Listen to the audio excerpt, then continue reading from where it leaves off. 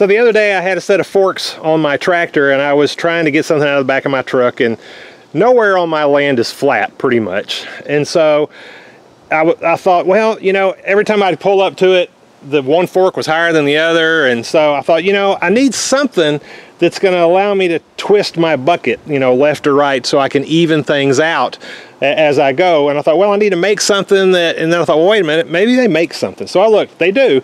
This is a hydraulic tilt. This one's made by Titan. This is the model. It's a tilting skid steer mount version 2. It is less than half the price of all the other ones I could find.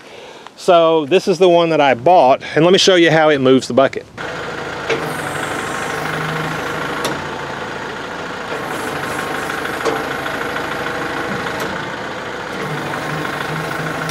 So the way you mount it is it just clips on just like say your bucket does. And then your bucket, it's got two more levers in here and your bucket clips onto the front of it. And then this front part, of course, swivels. It's got a, um, a hydraulic ram in there, a double acting hydraulic ram. The hose is pretty long. I had to wrap it around the boom to keep it from dragging the ground or getting caught in something. And then I run it off of my third arm. Of course, when you hit that third arm button, it's just a, a valve, solenoid valve opening and closing. So when I first did it, the bucket was moving wildly, you know, Uh, up and down. So I'll have a separate video on how I fixed that. Now, before I bought this, I called the company Titan and I asked them, I said, well, actually I emailed them and said, hey, will this fit my Kubota MX4800? And they said, yes, it will. And of course it does fit it. However, in the beginning, I couldn't get it to hook up to my bucket. I couldn't get both the pins to go down. I'll do a separate video on how I, the modifications that I had to do to make this work. But overall, I think I'm really happy with it. One of the big problems I had was cleaning out my barn.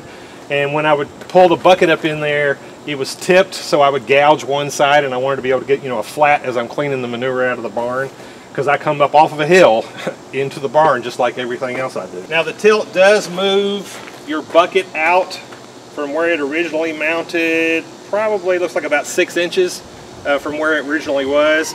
I won't use this all the time, but when I do need to grade something going forward or, or something like that, or get in, get in with a pallet or something, it, I think it'll be really helpful for that. I will link this in the description uh, in case you're interested in looking at it a little bit more. Look for two other videos. I'm going to have one about the modifications I had to make to this to make it work, and then another one about how I got the, uh, the travel to be manageable. Hope this was interesting to you. Thank you for watching.